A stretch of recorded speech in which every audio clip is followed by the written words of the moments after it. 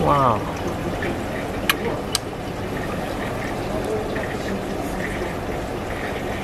Tetraodon spati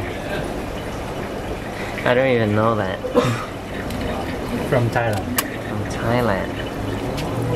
This And- is also from Thailand. I like this one. His eyes are so big. Yeah. They live in, in Indonesia too. Okay. That one's from China. From China. Rare, rare puffer. Rare puffer. Yeah, I've never seen this before.